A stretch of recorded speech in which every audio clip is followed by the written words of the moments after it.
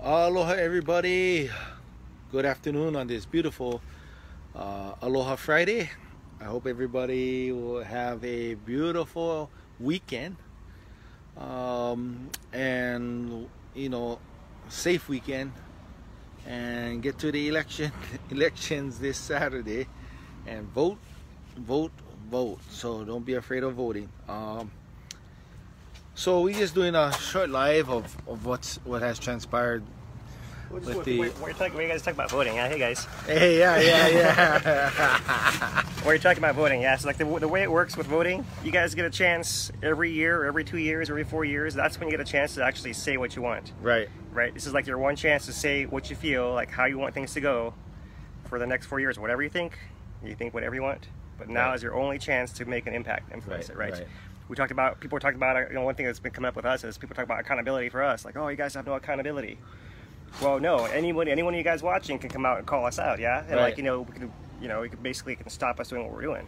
yeah. But some elected elected official, you get a chance once every election to do that. Right. right. In between, you, there's not much you can do. So, however you guys feel about what's happened, now is your chance to to, to give your input. Yeah. That's right, right, right. Yeah, yeah. No, go ahead and vote. So whatever, whoever it's for, like voting is super important. Right. Even And if you never uh, have before, it's never too late to start. I'll be voting tomorrow. So, you'll be voting. Did you vote yet? I haven't voted yet, no. But You're gonna actually, vote I, tomorrow? I have my my my. Uh, I do my mine by uh, my by uh, mail in. Actually, I haven't. I gotta carry it in tomorrow, I believe. Right on, right on. So, with that, with that being said, sorry, low network connection. But um, let me see if I can get a good signal. Usually, I get a good signal here. Oh, we're back on. But um, also another thing that we want to recognize it's Philip's birthday. Hey, thank you, birthday, Phil. thank you. And he I is appreciate it. 31 years old today. appreciate everybody's birthday wishes. Thank you guys so much. I really appreciate it. And um, so, lava. Let's go to the lava update.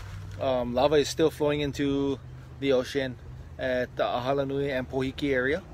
Um, still a vast amount of lava entering the ocean. Um, still the draining of the tube system. There's still there's still lava in Fissure 8. It's a pond, but it's it's slowly decreasing. So it's slowly receding from the, the, the top of the cone. Um, but there's still lava entering the uh, the ocean and also there's some breakouts here and there on the, the braided channel area so um, small breakouts but you know that's part of the draining of the system um, as far as yesterday there were people reporting that the plates were were um, you know getting jeopardized with Shifting. shifting.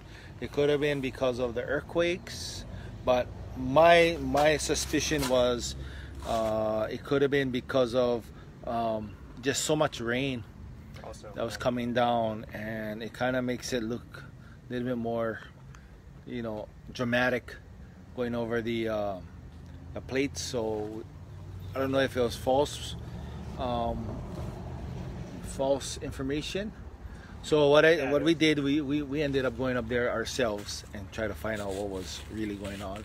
So one thing that I got back was there was a glitch on the cameras because there was so much rain and all that kind of stuff. It read it read the plates wrong. It read uh, 220, but it wasn't. It was still 130, 130 degrees um, yesterday, and there was no shifting of any plates or anything like that. So, um, but there, there there was a lot of reports of um, um, you know movement of the plates or something was happening with the plates. So, um, yeah, nothing happened there. Um, we, we do know that, the, that there have been cracks moving. You know, I got plenty of pictures. Yeah, of yeah, like, yeah. Cracks moving, widening, shifting. Some of them getting bigger, or part one side dropping down or up. So the ground is moving around there. We know that, and it's possible there was a little shift.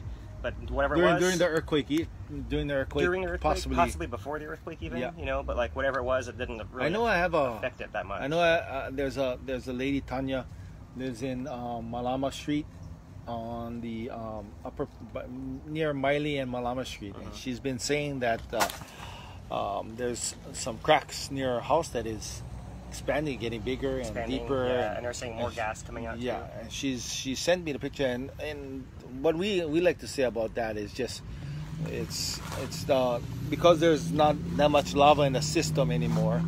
Um, it's starting to shift and Yeah, starting set- to like settle. settling. Yeah, settling. exactly. Yeah, Yep. it's settling. So it's all dropping down. So that's that's expected. I know it's scary to see cracks moving and gas coming out more, but it's all happening because the lava is leaving. Right. Right. So and we're gonna see a lot of a lot of um, gases um, being disposed by this this lava because you you know the 1955 flow, even from in the, in the early 2000s, 2000 you know 2001, 2002.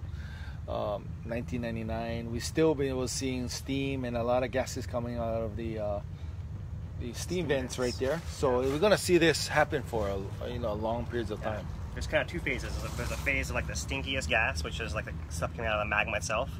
That probably goes off, burns off after probably some months, and then you get the second. The second stage is the, the steam itself, right? And when the water goes through the, all the magma and all the hot rocks, it gets sulfur also. Then you get that kind of sulfur-smelling steam that if anyone who went to the steam vents knew what, what that Yeah. what that was like. It was not quite as it's not really foggy, but you could still smell the sulfur. Yeah, even though it was mostly steam, that kind of style. Style. Yeah. So that's what's happening up there. Um, again, lava is still flowing into the ocean. It has um, kind of almost slowed down near Pohoiki. So Pohoiki pretty much, you know, it- there's a chance that Pohoiki will not be covered. I'm I, I'm very very positive in myself that I think Pohoiki is safe. So that's a good thing. Um, but you know, we're gonna go over some of the the, the, the recent events here. Can get a spot with no glare. Okay, let's see what we can manage here. All right, guys. So there's a, a new thermal map. Let's see what the glare situation is. It's not that good. Let's do that. All right, new thermal map, and this is kind of a little different scale than the last ones. They only they only scanned kind of the area down uh, west and south Kapoho, from Kapoho, Kapoho down to Pohoiki, and then a little bit around Fissure 8. And you guys can see there's not a whole lot of heat on the surface.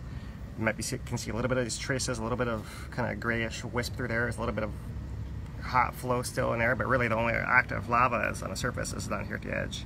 And that's where the that's where the, the ocean entry is pretty much uh, very much active. And this was from what day? This Yesterday? one is from yesterday, 6 a.m. Right on. Yeah, so you actually can still see in this in this picture. There's still a little bit of hot lava here on the edge. That's that flow that was uh, moving um, near, nearest to the boat ramp, still Yeah. over there. And you guys can kind of see, even though there's a lot of lava draining out at the front, there's not a whole bunch on top feeding it. There's probably still some on the inside you can't see through here, but that's kind of where it's going. There's one patch way over here, which you guys were reporting even last week. And then by the fissure itself, uh, you see the actual lava pond is down here in the middle, and everything else is the shape of it has it kind of drained out. Um, so there's still some hot spots in there, but basically the lava is only down at the very bottom, and you know a couple of spots in the channel, like Ikaika was saying, that don't actually appear in this scan right here. So that's basically the same story as we've been telling you guys. The lava is actually still there and bubbling up uh, deep in that pit, and then just kind of sinking back in, underground. It's basically basically burping itself at this point, letting out gas and just circulating within there, not coming out, and you know that's all good for now. So um, that's the story with the thermal. Uh, for earthquakes, uh, there's not a huge amount of earthquakes, but there are some. You know, here's the earthquakes over the last uh, 24 hours. Right in there, looks like the biggest one might have been a, a 2.4 down over here, and the next biggest one is a 2.0. So the largest one of those, those 2.0. So those are all kind of small.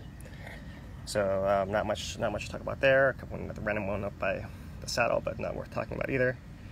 And then a big uh, important signal we're looking at is our tilt. All right, so here's our tilt for the last two days. And here's our earthquake we had yesterday where everything kind of changed from that point on, right? Because it was kind of going up and it might have been, kind of seemed like it was going to peak and go down. And once this happened, it kind of shocked it and just kept it going up. But actually it is leveling off now and we're going to see if it's actually going down a little bit here at the far end. So that's uh, within a range of what's been happening, you know, wiggling up and down a little bit. Maybe from that little trickle of lava going through still. It's hard to really say, say exactly what's going on in there. But the amount of, amount of wiggle isn't very much. You guys can see the scale is like 1.5 to minus 1.5 right there. Right, not like before. So um, the pool view, we talked about there's the earthquake yesterday, and then the deflation signal right through here is going to be really hard to tell what's going on because this is what was really raining, right? And a pool tilt meter gets a lot more rain than a Halemaumau one, so usually we see like the rain bump on these plots and not so much on this one up here. But um, so it's hard to tell exactly what was happening besides the rain. You know, it's possible. What we saw before was that when this thing was going high, this one was going low, and when this was going low, this one's going high. So we got to see what's going on. Here at the very end, we see them both kind of going down. It could be because it's the, the rain burning off. Um, so we'll have to see, like, you know, what happens now. It's actually sunny out here again. Get some clouds in the sky. day. With the sun shining out here. Nice bright sky. So we'll see how that actually affects the signal here later today, and then we can probably tell it tonight what's going on there. And one thing to point out on this uh, week-long tilt meter, um, now we're starting, we, we, were losing our last collapse signals here off the left end of the graph, because it's about a week long. It's been almost a week, you know, uh, yeah, it's been over a week now since the last collapse, huh? Yeah. So there it is, and so you can see the scale is shrink, it shrinks to fit the, the biggest spike on here. So right now the biggest spike is up here to around 35, so you see the top goes from 40 to minus 5, you know, then, you know, by this time tomorrow it's going to be a lot a lot shorter again once we get past these two spikes. And then basically what we're going to see is this thing's going to get zoomed in more and more. So we're going to see this wiggle down here on the right side is going to become more and more apparent. It's going to eventually look something more like the top top graph once all this mess over here gets off of the side, slides off the side, and we can zoom into that part over there. So when you guys see the signal changing and see these lines rising and falling more, like that's what's going on, right? And that's basically the tilt we know about. You know, there's a couple interesting signals here on a vertical component, like there was that, that spike during the earthquake there. Actually, the earthquake was the earthquake was farther before that. Actually, it was kind of back in here. So something followed the earthquake, some, some kind of wiggling and adjustment, but it came back to where it was before. Same thing. Oops, let's go back. I'm gonna touch that. Same thing with the one below here, and same thing with the one up here. There's that interesting little spike. So some kind of settling. We know the ground is moving up there. We talked about the fuzziness in the signal yesterday maybe having to do with those blocks still loose over there. And the last thing I wanted to point out on, a, on, a, on this page, the deformation page, is you guys can kind of see looking at the summit plot. This is for the past year. We actually started off level. It's our first collapse, probably when it collapsed that, that inner part of the crater.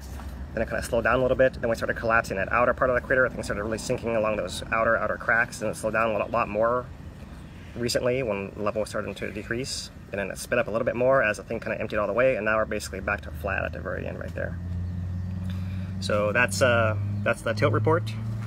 And that basically, you know, uh, we don't really know a whole lot more from the signal than we did yesterday. We're kind of in the same kind of holding pattern, waiting to see what happens, you know, as far as more inflation, that kind of thing. Um, I see a question here about the the crack in 130. 130 130's cracks are still there. They're still steaming. The, the temperature spike was actually a false alarm. You know, um, it was a false reading. Yep. It Was a false reading. Yeah. Um, so um, there is there wasn't really any any significant change on a plate in 130. You know, there might have been some little changes happening there because of the earthquake, but nothing really major that's worth worrying about for anyone else out there.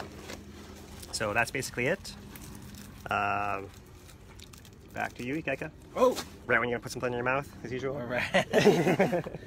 so yeah, that's that's what you know, and still there's a lot of lava entering the ocean. So that's that's our midday uh, update, and if anything should arise, uh, we'll probably be doing uh, another um, update. But it's Philip's birthday. Yeah, you guys, gonna, won't, you guys won't see me, me again today. Yeah, so we're gonna have him um, celebrate it with his family and his lovely two daughters. Cooking him a dinner right now. Get back to you guys tomorrow. Yeah. One other thing, the, the fire uh, Mauna Loa is uh, um, uh, it rained there last night. They said it rained two inches there last night, so it's not all the way contained yet. Uh, the last we heard, but that helped a lot and there's a bunch of guys out there all working really, really hard to. I'll be posting a video on the fire, how how crazy it was, and I have a video coming in, so look for that. And uh, hello everybody, again, go vote tomorrow. Aloha and rock your vote. Stick and uh, what are we gonna say, it guys? Stay, stay classy, Puna. Aloha.